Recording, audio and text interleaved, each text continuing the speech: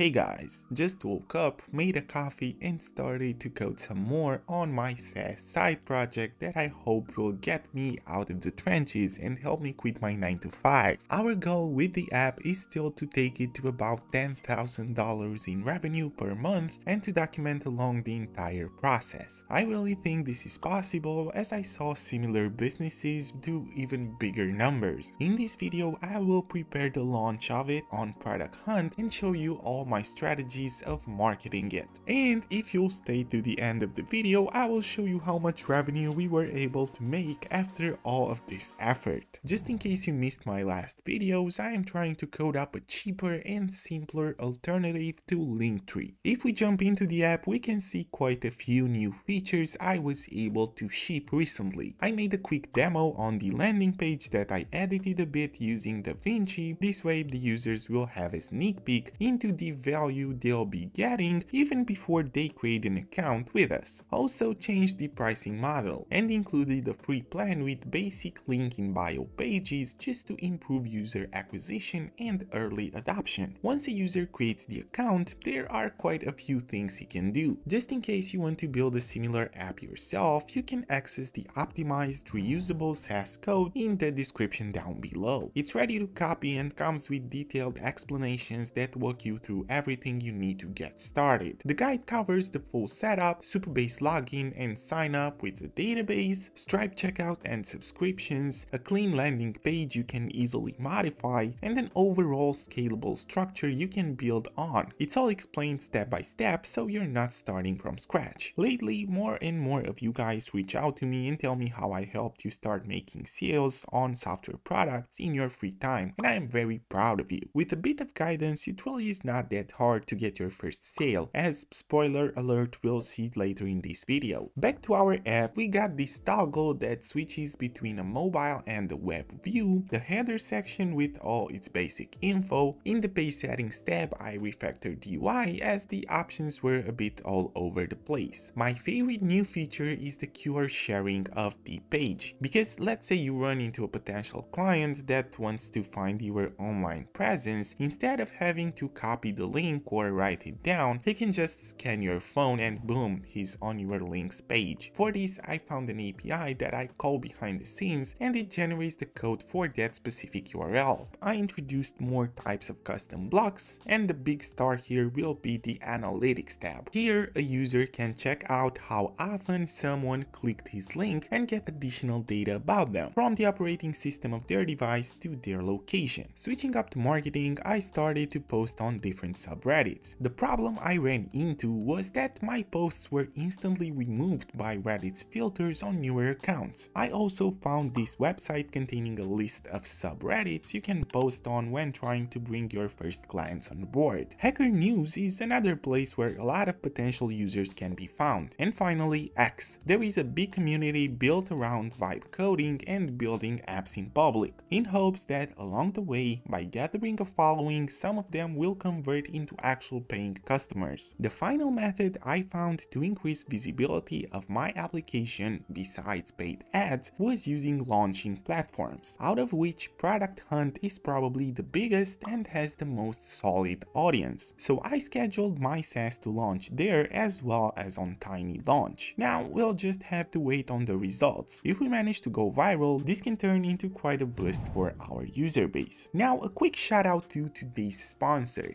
TestSprite. If you're building a SaaS like this, testing is one of those things that's easy to overlook but can quickly become a bottleneck. TestSprite's MCP server lets you plug automated testing directly into your development workflow, so you can validate features, APIs, and user flows without setting up a complex testing infrastructure yourself. Their starter plan is perfect for solo founders and small teams. It's easy to get started with, affordable, and helps you catch issues early before users do. If you want to ship faster with more confidence, definitely check out TestSprite using the first link in the description down below. Now, before ending the video, let's check out Stripe in order to see how many conversions we were able to make. So there were about 12, which even though are not a lot, bring me to about $40 in recurring revenue per month, assuming none of the current users turn the next month. This will honestly be enough enough to keep me going and ship even more features that the users will ask for. This was about it for the video, don't forget to comment something down below if you made it this far, and until next time, happy coding!